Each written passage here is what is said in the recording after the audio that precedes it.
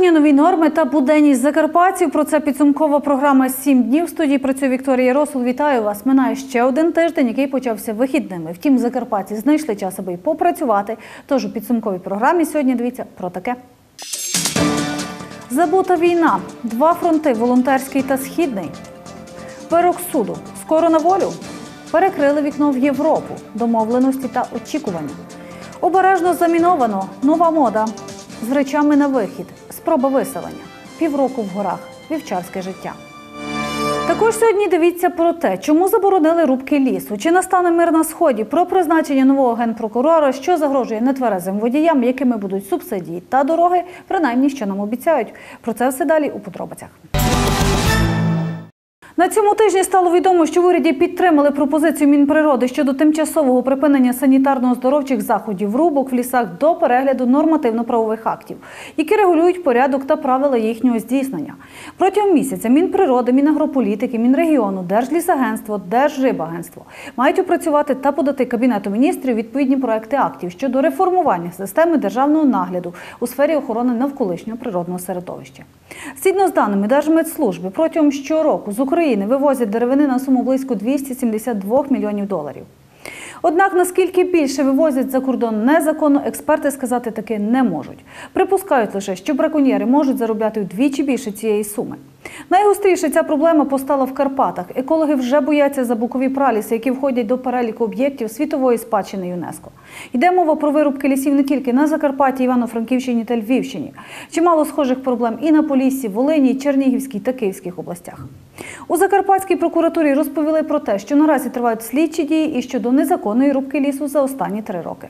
З приводу рубок 13, 14, 15 рік є зареєстровано за цим фактом 5 кримінальних проваджень, які в подальшому були об'єднані в одне провадження. Досудове розслідування в указаних кримінальних провадженнях триває. А в четвер Україна отримала нового генерального прокурора. Ним став Юрій Луценко. Верховна Рада підтримала президентське подання на призначення Юрія Луценка генпрокурором. За проголосували 264 народні депутати. Президент одразу підписав цю постанову в залі парламенту. Після цього Луценко зачитав присягу як член Вищої ради юстиції і відповідно вступив на посаду. Перед тим Верховна Рада України проголосувала за закон, який дозволяє обіймати посаду генпрокурора людині без юридичної освіти та унормовує реформи генпрокуратури.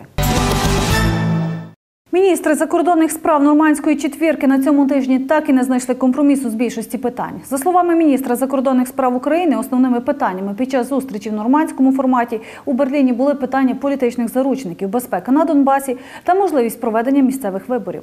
Міністр закордонних справ Німеччини погодився, що погляди на підготовку виборів у Росії та Україні різні, і він чекав більше конкретних пропозицій від сторін заради вирішення ситуації.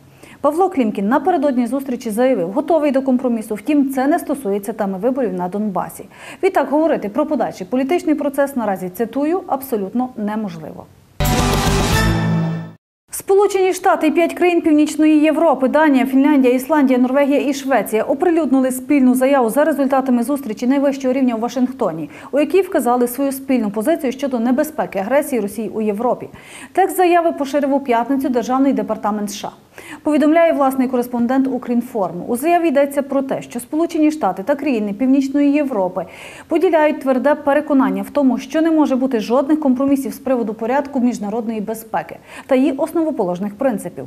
Засудили незаконну окупацію та спробу анексії Російською Федерацією Криму, агресію на Донбасі та спроби дестабілізувати Україну. Всі ці речі просто несумісні з міжнародним правом та порушують встановлений європейський порядок безпеки, наголосили лідери держав. Наголосили, що санкції проти Росії за її дії на сході України цитую не можуть бути скасовані, поки Російська Федерація повністю не реалізує свої зобов'язання за мінськими угодами. Поки Росія не поверне Україні Крим, санкції пов'язані з цими питаннями також залишатимуться чинними. Наразі в окупованому Донецьку ситуація критична. Обстріли тривають, бойовики відкривають вогонь з гранатометів, великокаліберних кулеметів, стрілецької зброї, також мінометів калібру 82 мм, повідомив прес-центр АТО. Найгарячішою точкою залишається ділянка лінії розмежування біля тимчасово окупованого Донецька. Там бойовики неодноразово відкривали вогонь по наших позиціях в районі Авдіївки з гранатометів, великокаліберних кулеметів, стрілецької зброї, а також мінометів калібру 82 мм. Укріплення сил АТО на підступах до Мар'їнки противник обстріляв з гранатометів, також вів вогонь ворожий снайпер. Неспокійно і на Маріупольському напрямку. Опорні пункти українських воїнів неподалік Широкіного та Гранітного проросійські незаконні збройні формування обстріляли з гранатометів різних систем та стрілецької зброї. Про неї стали менше говорити. Повідомлення звіти перетворились на буденну статистику, а головні дієві особи стали ще однією категорією населення. Східна війна на фоні соціально-політичних зрушень в країні відійшла навіть не на другий план.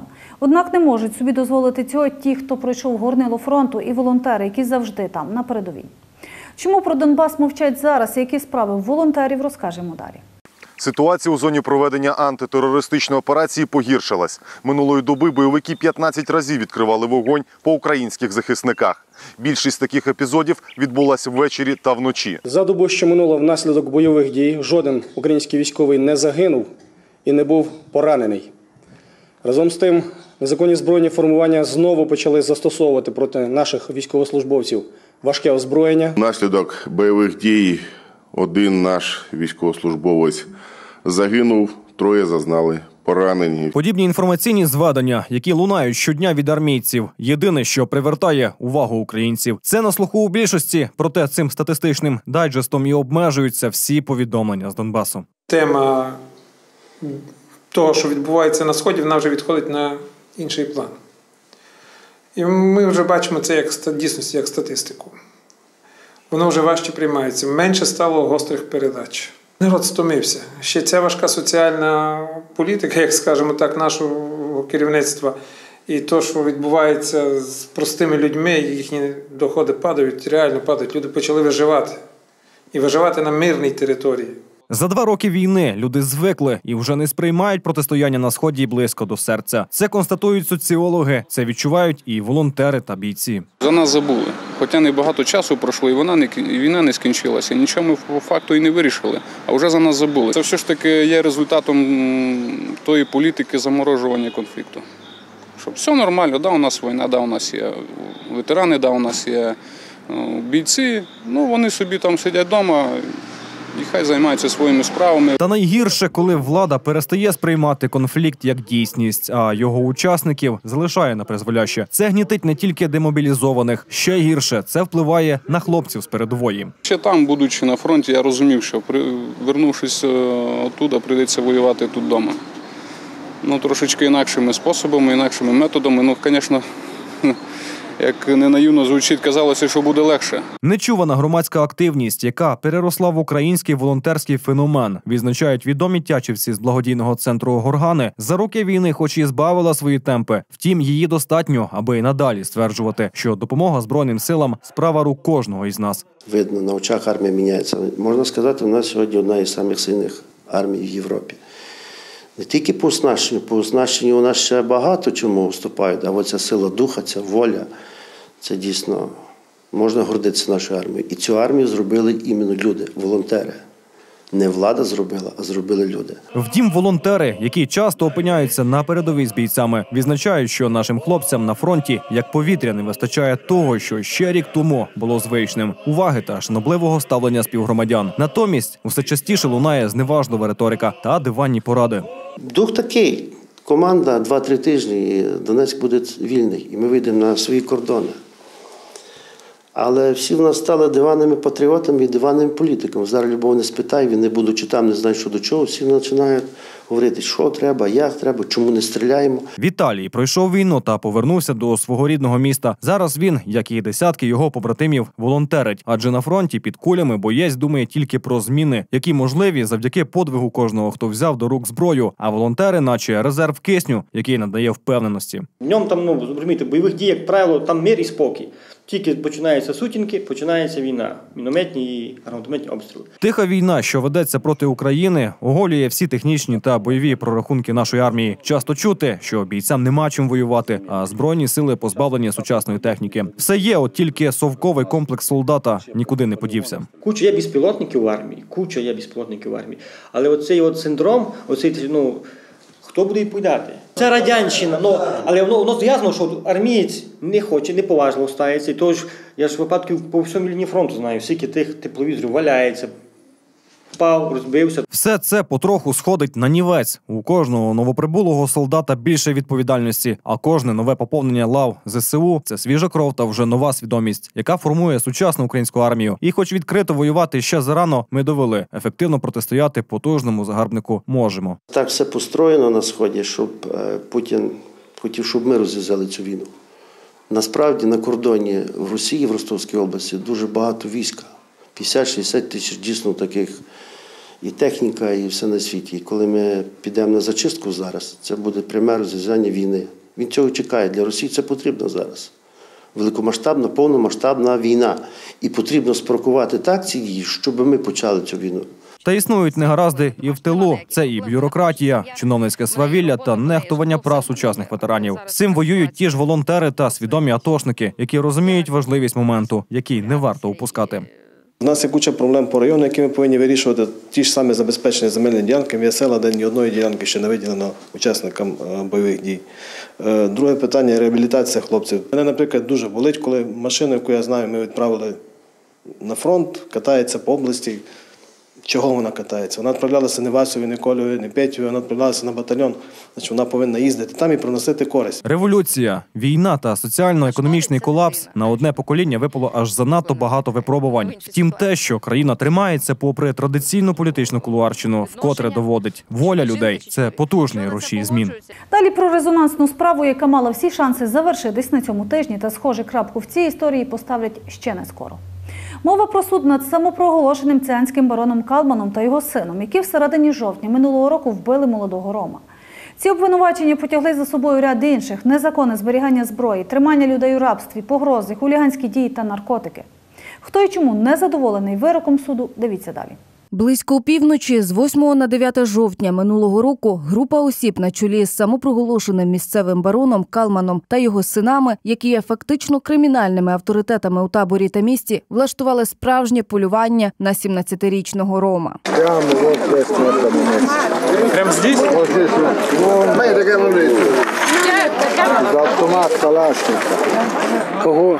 А сколько, э, то есть много было пуль, да, выпущено?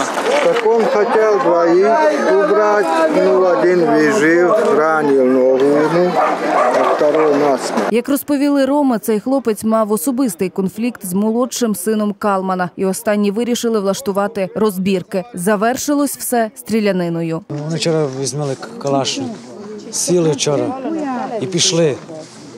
І того хлопців зустріли. І Шана його була, і Каман був там, і Чібі. Троє. Да. І Давід його.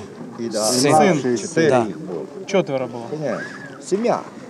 Лікарі констатували смерть хлопця, адже травми були несумісні з життям, і він втратив багато крові. Дізнавшись про смерть хлопця, роми здійснили самосуд і підпалили будинок самопроголошеного барона табору. У райвідділі міліції знали про інцидент, оголосили план перехоплення. Винуватців затримали. Наступного дня десятки ромів стояли під будівлею райвідділку міліції. А мой сын никогда в жизни не жаловался. Никогда не бежал домой, чтобы мне беду сделать. И вот конец. Этот тварь, миллионер, наркобизнесмен, все купил. Кто бы не жаловался, одного вы- глаз выбили, второго убили, год отсидел его брат, 17-летнего пацана тоже убили. А сейчас моего сына. Ромів було багато, але в кожного своя історія образи на самопроголошеного барона. Калман Лакатуш хотел моих детей заставлять, чтобы он был, они были рабами ему.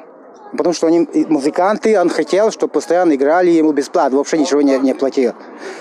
Но они, он потом э, с своей семьей побили самый старшего сына, потому что мой сын жил напротив его дома. И потом, после того, я побежал, чтобы ну, помочь дать свои, ну, паца- ну, сыном. Они напали на меня и сделали с меня инвалида, калику. Так вот, теперь у меня протез. Я попав так. Мені один чоловік підказав, каже, хочеш що робити, я пішов туди. Я там робив, кормив там, все, все таке. Мене там били, і здівалися з мене. Вішали мене, били мене, по ребрам сяди. Як вішали, показуй. Отак вони за- завішали. А де били так? Сюди. Покажи себе, плечі покажи, які плечі маєш побиті, покажи. Покажи. От може Позирай. Це всі побої від них, дивіться, видите? Ну, Це всі побої від них, аби ви знали. Ну, видите, а туй нога поламана, не може ходити так, дуже нога, бо а туйка псе, пси, псові верли, псові верли, най собака їсть. У них такі великі всі ще були пару. Скажи, а скільки ти був, е, скільки виходить, що ти там у них був? Чотири місяці. Скільки у вас там було чоловік, котрі убіжали? Троє. Троє. Та Павел був, Павлік, Саша і Павел. Це ви всі були е, у рабстві троє, так? Да. Павел десь 10 років рабство. Місцеві розповіли і про те, що вбитий не єдина жертва Калмана. Після скоєння вбивства циганський барон із великою родиною намагався втекти за кордон, але його затримали. Суд у резонансній справі тривав майже вісім місяців. У судових засіданнях були навіть спроби випустити так званого барона. Як мотив для злочину встановлена помста та довга ворожнеча між родинами. Суд засудив Олег Камена Каменовича визнати винним у чиненні кримінальних порушень, злочинів, передбачених частиною 1 статті 115 Кримінального кодексу України та призначення йому покарання у виді 9 років позбавлення волі. Лака прошу Камана Камановича визнати винним у чиненні правопорушення злочину, передбаченого частиною 2 статті 166 Кримінального кодексу України та йому покарання у виді 1 року 6 місяців позбавлення волі.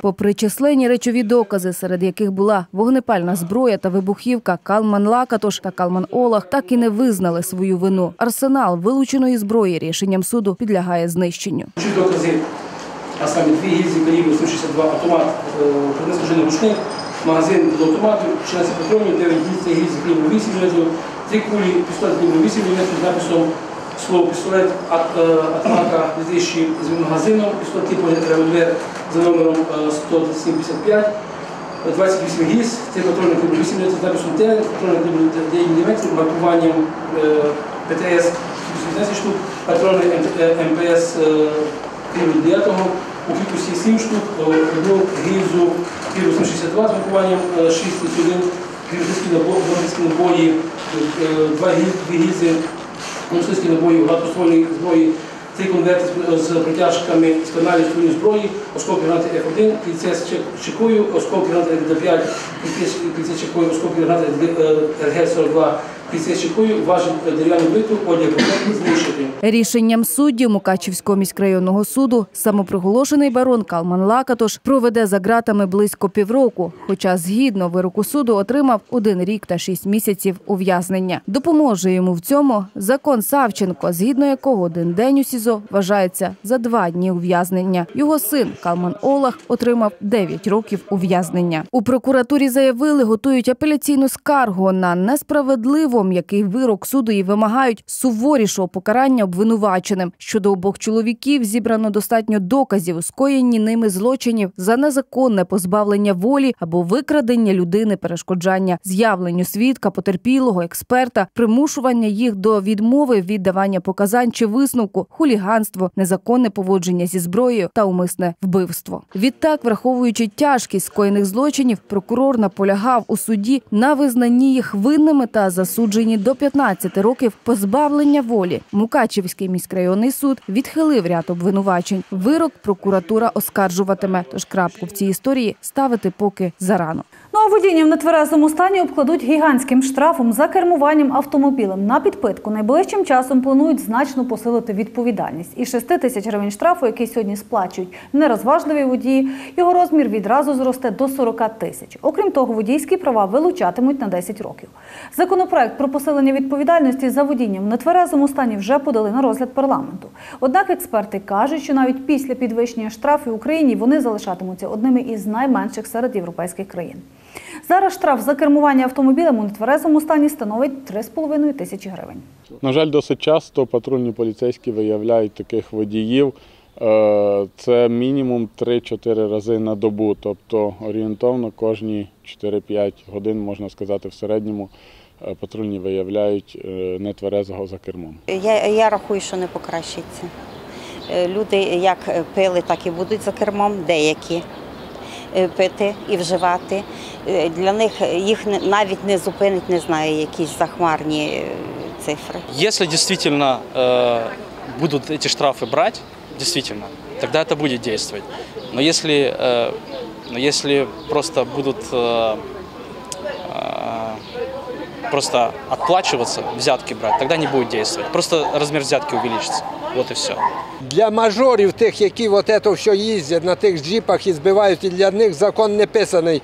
Він вийме 100 тисяч, він буде їздити далі за кермом п'яний, і все це буде творитися до цих пір, поки або не буде відповідальність або сажати, або пожиттєво забирати права тільки в таких водіїв. Що більше нічого не остановить. Проте люди не надто вірять, що ситуація зміниться на краще. Якщо в європейських країнах рівень смертності внаслідок ДТП становить середньому четверо людей на 100 тисяч населення, то в Україні цей показник дорівнює 18. Аби осягнути масштаб цієї проблеми, досить усвідомити навіть той факт, що Україна за рік у ДТП втратила стільки ж громадян, скільки і під час проведення антитерористичної операції на сході країни. Минулого тижня ми розповідали про невдалу спробу допомогти у здачі ЗНО одного з ужгородських жартівників. Через нібито замінування школи оцінювання з української мови там зірвали. Втім, заміновувати сесії обласної місцевих рад, зривати ті чи інші важливі засідання чомусь стало модним в останній час. Ймовірно, причина цього безкарність.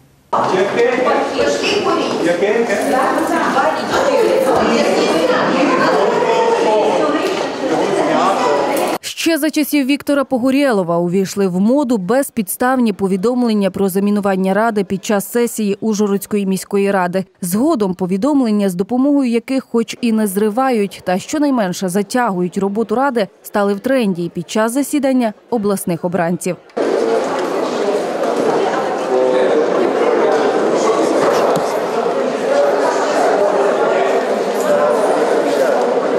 Депутати, голови рад на подібні повідомлення, які зазвичай виявлялись безпідставними, навчились реагувати по-своєму. Зривається, кажи хай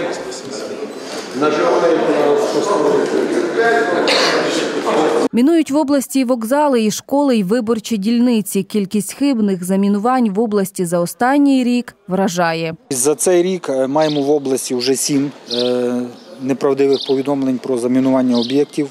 Торік таких було 22. Повністю виїжджають рятувальники і працівники інших служб. І загалом це обходиться, якщо порахувати, в дуже велику суму е, е, нанесених збитків, тому що треба е, бензин. Для техніки треба працівників, які будуть евакуювати. Ну, велика сума виходить. При сучасних засобах зв'язку поліція здатна вирахувати практично всіх жартівників. Переважна більшість повідомлень поступала саме з адмінбудівель із за дивним збігом обставин, якраз тоді, коли депутати не могли знайти компромісу. От, до прикладу, знакова перша сесія, на якій обирали голову обласної ради. Геннадій Москаль зі скандалами намагався її зірвати. Покинув залу, а за кілька хвилин правоохоронці повідомили заміновано.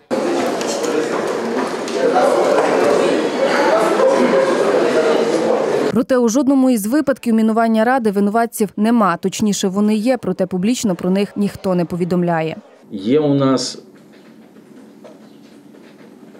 оперативні дані про осіб, які ймовірно можуть бути дотичні до цього. Е, Наразі проводимо експертизи. Є судово-фоноскопічні експертизи, їх проведення триває. Вони проводяться в Львівському науково-дослідному інституті судових експертиз. Тим часом, поки одні таким чином забавляються, їх приклад переймають інші. Ось один із нещодавних закарпатських мінерів. Хлопець повідомив про замінування у одній із шкіл Ужгорода, де саме проходило ЗНО. Хотів полегшити проходження процедури ЗНО. Тобто ви думали, що за це взагалі ніякого покарання не понесете, так? Так. Дві години це все, що знадобилось правоохоронцям, аби вичислити горе жартівника. Прокурор міста каже, просто працював не фахівець. Варто додати, хлопець викинув картку, з якої дзвонив, а телефон втопив у річці. Замінування, яке проводилось е, 19-ї школи, воно відбувалося не на стільки професійному рівні, наскільки відбувалося замінування інших будівель.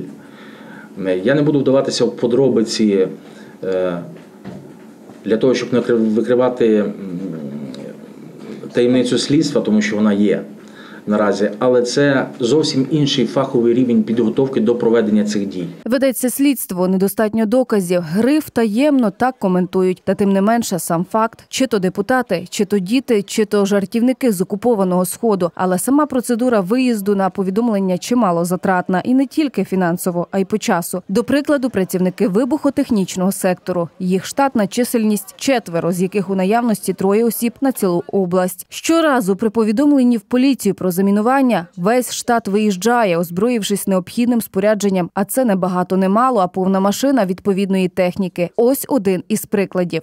За допомогою гідродинамічного руйнівника проводиться знищення або знешкодження підозрілого пред- пред- предмету. Заливається вода або гелєвий розчин, після чого вставляється охончий патрон, на кінці якого є електроспалахувач, втягується і безпосередньо підключається проводами, підключається Цій області їх тільки троє. Виклик про замінування чи хибний, чи реальний це щонайменше година часу. Якщо для когось година це пуста трата часу, то цим спеціалістам дорога кожна секунда, не говорячи вже про інші служби, без яких не обходиться при повідомленнях такого роду: швидка поліція піротехніки. Алло, швидка, слухай вас. То замінування? А де то є? Будьте добрі, точний адрес. Шоста на перший на визов, шоста на перший. Правоохоронці звертаються до жителів області з вимогою не порушувати закон і нагадують про кримінальну відповідальність. Повідомлення про загрозу безпеці громадян передбачає е, великий штраф в сумі від 17,5 тисяч гривнів або позбавлення волі на срок від 2 до 7 років. До того ж доведеться відшкодувати марну роботу екстрених служб. Про те, скільки коштує один такий виклик заради розваги та якими можуть бути наслідки жартів мінувальників, дивіться у програмі Журналістське розстеження вже наступного тижня. Ну а власники автомобілів з номерами на іноземній реєстрації 10 травня заблокували КПП Ужгород на кордоні зі Словаччиною. Дорогу перекрили близько сотні автівок. Вимоги мітингувальників продовжити термін перебування нерозмитнених автомобілів в Україні. В інакшому випадку водії погрожують безстроковою акцією протесту. Кажуть, збурились через те, що на травневі свята на кордоні утворились величезні черги. Продовжить Мар'яна Мартин. Це вже друга кава пана Андрія протягом двох годин. Саме стільки чоловік разом з родиною стоїть на кордоні в надії потрапити додому в Словаччину, проте не може, адже кордон знову перекрито. Знаю, чому така ситуація. Кожні п'ять днів люди мусять перетинати кордон. Я не згоден зі страйкувальниками. Вони б мали розуміти і нас. Чого ми маємо тут чекати, невідомо скільки. Але я й не розумію причину, чому ваші водії повинні їздити кругами кожні п'ять днів. То якісь системи мали придумати, аби такий безлад не робився. Закарпатські пересічники знову на кордоні, знову блокують, знову вимагають. Жителів дістало, дістали черги та обіцянки. Десь числа 15 написали ініціативна група, що ми себе знімаємо відповідальність повністю, тому що е, нас просто бортують з кабінету в кабінет. Нічого в Верховній Раді не роблять. Пан Москаль пообіцяв. Перетин кордону авто з іноземною реєстрацією, чи то так звана пересічка, це питання турбує закарпатців вже не один рік. Не їздить на такій машині, що була придбана за кордоном, хіба що лінивий. За тисячу євро я придбав і продав її за тисячу євро, бо кожні п'ять днів спав на таможні. На другу грошей нема. Бажання чи то потреба мати машину, заначка в розмірі щонайменше 700 євро, ну і звичайно закордонний паспорт, і ви власник авто. А от ціни на такі навіть прокатані іномарки в Україні в рази більші. Проте правила перетину автомобілів для негромадян ЄС кожні 5 днів. А це час як працівників кордону, так і самих, яких називають пересічників. Слово пересічка, то такого не може бути, розумієте, бо то якась дикость. Пересічка, то взагалі такого не може. Машину маю на свою, я пас, паспорт в мене записаний моя фамілія записана в паспорті. Я не маю права, не, я можу тут бути тільки хочу. Якщо я там куплю тапанки, де я що п'ять через п'ять днів них маю йти назад. З кожним роком кількість таких машин в області тільки зростає, а разом з тим зростають і черги на кордонах. На кордоні знову бастують. Водії перекрили дорогу, хочуть, аби їх почули. Натомість їх бажання пахне криміналом. За даного приводу внесено кримінальні провадження з статтею 279 частини 1 Кримінального кодексу України. В ході розслідування була дана оцінка даним подіям. Від штрафу до обмеження волі.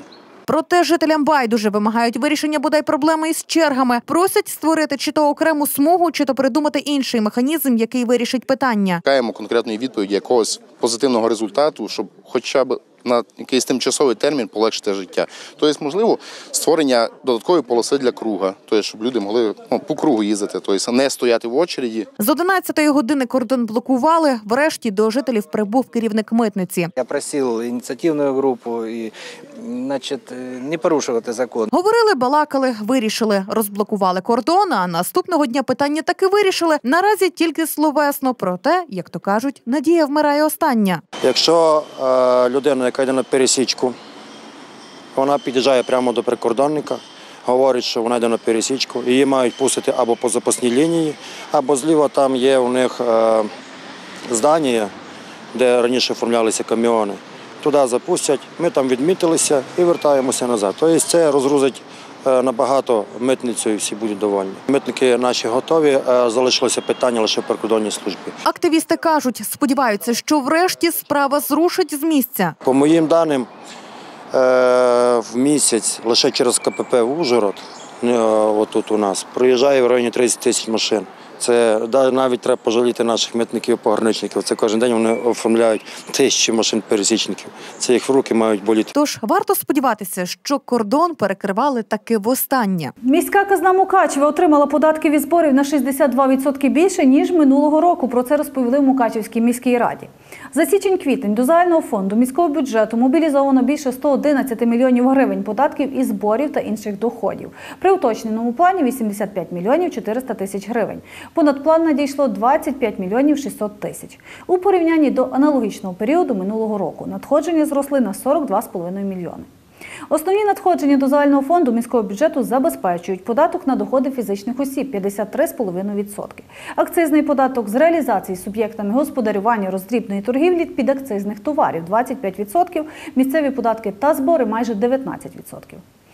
Найбільшими платниками податків не тільки Мукачева, але й області залишаються підприємства, які працюють на території Мукачева. Це Фішер, Флекстронікс, великі заводи Точприлад, Еномеблі та ряд інших підприємств, завдяки яким вдається перевиконувати надходження. Про роботу цих підприємств ми розкажемо вже в наступних випусках новин. З 1 травня в Україні розпочинається другий етап оформлення субсидій на житлово-комунальні послуги. Відтак українцям, які минулого року вже оформили субсидії, проходити повторно цю процедуру не доведеться. Субсидії їм перерахують автоматично, щоправда, з певними змінами. Адже з 1 травня при оформленні субсидій або їх автоматичного перерахування вносяться певні зміни, зокрема і розрахунок за спожитий газ. Базова норма споживання. ем, При призначенні на опальний період е, минулого року е, норма споживання діяла 7 метрів кубічних на 1 метр опаленої площі дворогосподарства. То е, на сьогоднішній день при призначенні на опальний період наступного року, 2016-2017 року, ця норма переглянута до 5,5 метрів кубічних на 1 квадратний метр опальної площі. Згідно із статистикою, тільки в Закарпатському обласному центрі субсидіями на житлово-комунальні послуги користуються 8,5 тисяч сімей. Як розповіли в управлінні праці та соціального захисту населення Ужгородської міської ради, наразі відбувається автоматичний перерахунок субсидій на наступний рік. Також проводиться робота з новими претендентами на субсидії, які можуть звернутися до управління. Однак якою вона буде на цей раз, сказати поки що у відомстві не готові. Станом на сьогодні е, нам відомо, що введена в дію постанова Кабінету міністрів номер 319 від 27 квітня 2016 року. Е, Ця постанова вносить е, зміни у порядок призначення субсидії.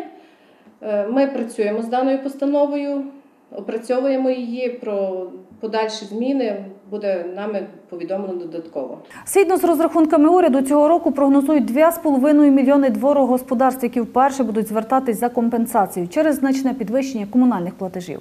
Загальна цифра цьогорічних отримувачів субсидій сягне 8 мільйонів українських сімей.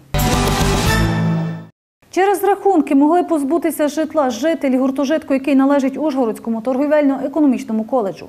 Проживши тут десятиліттями, мешканці гуртожитку так і не змогли приватизувати свої помешкання. Єдиний офіційний доказ їхнього проживання, який залишився людей на руках, це прописка у паспорті. Зараз справа дійшла до суду, на якому побували і наші журналісти. Яким був його вердикт та чому справою зацікавилась прокуратура? Дивіться далі. Виселити людей з власних квартир в гуртожитку на вулицю намагається Ужгородський торговельно-економічний коледж Київського національного торговельно-економічного факультету. Проживши тут десятиліттями, мешканці гуртожитку так і не змогли приватизувати свої оселі. Єдиний офіційний доказ їх проживання, який залишився у людей на руках, прописка в паспорті. Зараз же справа дійшла до суду, в якому позивач, а саме керівництво коледжу, через буцімто заборгованість за квартплату просить суд виселити мешканців гуртожитку. Наші журналісти побували на одному із засідань, де в якості відповідачів виступає вся сім'я разом із двома неповнолітніми дітьми. Мені живеться добре, в школу так собі ходжу, лише вчора не ходив, я так хотів собі відпочивати. Семирічний Максим разом із своєю молодшою чотирьохрічною сестричкою Ангеліною та батьками живуть в гуртожитку, який належить Ужгородському торговельно-економічному коледжу Київського національного торговельно-економічного факультету. Сім'я тут проживає вже близько дев'яти років. За цей час отримали на руки відповідний ордер на поселення і згодом отримали офіційну прописку в паспорті. У нас як е, в нас було, е, був ордер, на якій основі нас приписали. У нас на даний час єдиний документ то є паспорт і приписка. Тобто ми ну, приписка постійна, діти, сім'я моя, ну, всі приписані ми на постійній основі. Гуртожиток складається із блочної системи, в якій сім'я займає два блоки. У зв'язку із цим ще у 2013 році керівництво коледжу почало надсилати мешканцям захмарні рахунки за квартплату, які сягали близько 600 гривень. Враховуючи, що сім'я займає два блоки, рахунки множились на два. Нам нараховували там велику 600 квартплату, тобто 600 гривень за блок. Так як у мене два блока, мені нарахували, з- крім е, комунальних послуг, мені нарахували 1200 гривень тобто за квартплату. Тобто, звідки ці 1200 взялися гривень? е, Просто так, я думаю, що це просто так. Така ситуація обурила мешканців гуртожитку, адже тільки за комунальні послуги разом із незрозуміло завищеною квартплатою їм доводилось сплачувати не одну тисячу гривень, і це навіть не в опалювальний сезон. 1200 гривень якби квартплати, плюс ще світло, Світло, вода, вода. то все комунальні послуги ці всі. У нас виходило навіть літком, нам не, не рідко то було в вересні місяці, 2000 гривень нам треба було плати- платити за квартиру. Якби це ще й не опалюваний сезон був, нічого, але треба було платити 2000 гривень. Незгідні з такими рахунками мешканці гуртожитку відмовлялись їх сплачувати. Це стало однією з головних підстав, яку використало керівництво коледжу для звернення до суду з метою виселення не тільки сім'ї Батрин, але й інших мешканців гуртожитку, які також не були згідні із рахунками. Суд буде розглядати е, позовну заяву директора е, ОТЕК КНТУ, значить, Павлюк Лариси е, про виселення однієї сім'ї е, значить, цього гуртожитку. І за наявною інформацією, відповідно до реєстру, подані такі аналогічні заяви і по іншим, е, вже аналогічним, е, ну, по іншим сім'ям в цьому гуртожитку. У позовній заяві керівництва коледжу фігурують також й неповнолітні діти, які згідно чинного законодавства не можуть бути відповідачами у судовому процесі. Зрештою, в Ужгородському міськрайонному суді відбулося перше засідання. Економічного коледжу Київського національного торговельно-економічного університету до е, Батрина Василя Васильовича, Батрин Ганни Михайлівни, які діють в інтересах неповнолітніх. Батрин Максима Васильовича, Батрин Анни Васильівни про виселення студентського гуртожитку. Відразу в день проведення першого судового засідання, завдяки оперативному оприлюдненню як змі, так і громадськими активістами на справу звернула увага й прокуратура, зокрема щодо позовної заяви, у якій також вказані неповнолітні діти. Прокуратура ретельно вивчає вказане питання, і якщо будуть е, у нас достатньо підстав, то обов'язково вступить е, в судове з- в судове засідання на захист прав цих неповнолітніх і малолітніх ювенальний прокурор. Але зауважу те, що е, на даний час законодавством досить обмежене коло наших повноважень в тому плані, що ми маємо право вступати на захист прав неповнолітніх лише тоді, коли свої обов'язки не виконують або виконують неналежним чином батьки, представники дитини законні або визначені законом органи, тобто органи опіки і піклування. Якщо буде нами встановлено, що є достатньо підстав нам вступати в справу, ми звичайно це зробимо обов'язково. Щодо першого судового засідання, то слід зазначити, що позивач до суду не з'явився. А тому, зокрема, й на прохання сторони захисту відповідачів судове засідання перенесли на 1 червня. Аналогічне рішення ухвалили і по іншим справам. Самі ж мешканці гуртожитку так просто здаватись не збираються. кажуть, намагання керівництва коледжу поступово виселити окремо кожну сім'ю є незаконним, а тому покладають надії на справедливий суд. І вже в травні, на початку червня, в Україні обіцяють збільшити ремонти доріг. кажуть, що грошей на це виділили в кілька разів більше ніж минулого року. Зокрема, мова йде про 19 мільярдів гривень. Для Закарпаття важливими залишаються туристичні напрямки, які цього року в катастрофічному стані. В різних куточках Закарпаття від Ущорної до Великого Березного та Синевира визнають, стан доріг близький до жахливого. Ліс рубають, а дороги не роблять. Дороги портяться із-за перегрузу машин. Звичайно, хотілося, щоб поменше грузилося. Ну і поякіше, щоб дороги робили. Якщо поставити так 10 сантиметрів дороги, то може і буде витримувати. Та на даний час ці дороги не витримують ту перегруз машин, які зараз ліс возять. Дорога на популярний Шипіт та Синевір теж не в найкращому стані. Аби доїхати до родзинок Міжгірщини, потрібно витратити чимало часу та нервів. Після подорожі ще й купу коштів на ремонт свого транспортного засобу. Страждає від гірського бездоріжжя і тамтешнє населення. Якщо туристи миряться з вибоїнами тільки раз у році, то місцеві автовласники користуються таким танкодромом чи не кожного дня. Подібна їзда влітає їм у копієчку. Критику вислуховує місцева влада, яка до ремонту центральних доріг жодного стосунку не має. Дороги дуже е, розбиті, розбиваються е, більшість за рахунок лісовозів. Лісовози перегружаються. Дороги розбиті, канави зариті. Є деякі питання, які значить, стосуються доріг, екології. А от обласне керівництво розводить руками. Кажуть, будуть кошти, будуть і дороги. Однак при цьому роблять чомусь здивовані обличчя, нібито про проблему чують вперше. Стосується це й іншої біди краю тотального засмічення. Куди сьогодні дівають сміття? От у всіх селах. Куди? Називати не буду. Що, в ріку, в річку кидають і куди? Ми мусимо це констатувати, що на території Реблянської долини Ну а відсутність сучасної транспортної інфраструктури та руйнація існуючих шляхів сполучення та захисних інженерних споруд може призвести в горах до локальної ізоляції. Як це вже кілька разів траплялось, зокрема після паводків та масштабних сувів. І вирішувати ці питання потрібно не завтра. Їх, як переконують місцеві, потрібно було закривати ще вчора. Ну і далі про тих, кому про дороги та проблеми, які турбують жителів міста, сіл можна спокійно забути. Наступні півроку вони проведуть в горах без світла, без умов та без вихідних. Над ними тільки небо. В таких умовах живуть вівчарі на полонинах. Випасають овець, виготовляють корисні та смачні продукти. На життя не скаржаться. кажуть, а хто як не вони. Життя в горах незмінне, тут час зупинився. І що б не відбувалось, військові операції, геополітичні зміни, війни та перемир'я. Вівчарі точно знають, над горами зійде сонце, а їхні отари, які щодня чекатимуть на них. Провели цього тижня на полонини вівчарів і на Рахівщині. Закарпатські вівчарі на полонині зустрічають сонце першими. У горах чисте повітря, джерельна вода. Вранці звідси відкриваються неймовірні пейзажі. І о цій порі вже не сплять вівчарі. У них робота кипить. День пастухів починається о третій ранку за їхнім часом, о п'ятій годині київського. Рано у три Києва вже на ногах. Я вівці закормлюєш, йдеш доїти вівці. Здоїли, робиться сир, йдуть пасти вівці. На обід вівці здоїли, робиться сир, вівці йдеш, знов йдуть другі пасти вівці. Один вівчар заганяє овець, інші доять. Справа не з легких, потребує спеціальних умінь.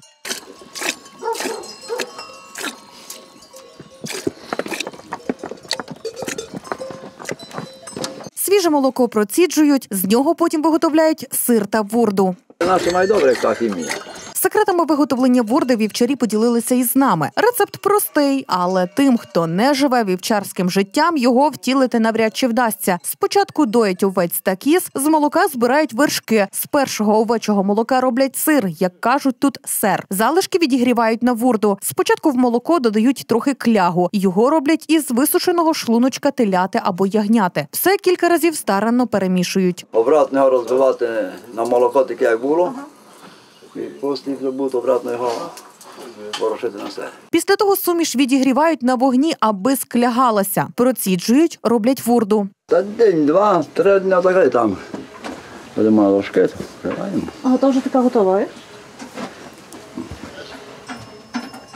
А вурду потім відправляють у долину, де господарі засолюють її та переробляють на бринзу. Іноді їм доводиться йти по 12 годин горами, аби дістатися найближчого села. Живуть вівчарі у колибах без електрики та зручностей. В одній кімнаті живуть та готують продукти вівчарства.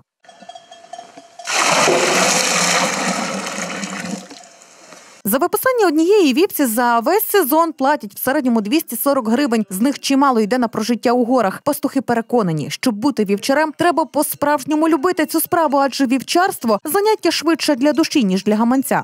Я то дуже люблю, вважаю худобу і стараюся, щоб вона була хороша, в людей відпов... я відповідаю. Попри байдужість держави щодо розвитку програм вівчарства, вже вкотре підтримують ватагів небайдужі. Шостий рік поспіль на Тячівщині і Рахівщині влаштовують святкові проводи пастухів на полонину. Понад 30 вівчарів Ясінянської та Богданської долини зібралися на урочистості у гуцульській столиці селищі Ясіня. Свято розпочалося зі співу трембіт. Опісля пастухи отримали подяки та цінні подарунки від імені народного депутата України Василя Петьовки. Дозвольте мені від імені Василя Васильовича Петьовки привітати вас всіх цим святом. Ми сьогодні завершуємо це свято проводів вівчарів на полонину. Ми розпочали е, нижній кущ в центрі Європи до Рахова. Ми вже відзначили, відмітили це свято. Значить, в понеділок ми провели на Тячівщині в Дубове, зібрали вівчарів, ватагів старших. Це майже 65 чоловік. Ну і сьогодні ми завершуємо Єсеня. Вже наступного дня на вівчарів чекала важка праця із вівцями, а разом і приємні спогади про вчорашнє свято. Чистого та мирного неба над головою вам бажаю. Телеканал М-студіо та радіо Закарпаття ФМ нагадую, відкрив телефон довіри. Якщо ж вас дістали корупційні схеми, ви хочете про них розповісти, надати їм розголосу та отримати відповіді на ті чи інші питання. Дзвоніть нам за номером 067 311 72 77 та пишіть на електронну адресу mstudio.mk.uz.ua. На цьому я прощаюся з вами. Це була підсумкова програма «7 днів. В студії працювала Вікторія Росул. Тримайтесь і нехай все буде добре.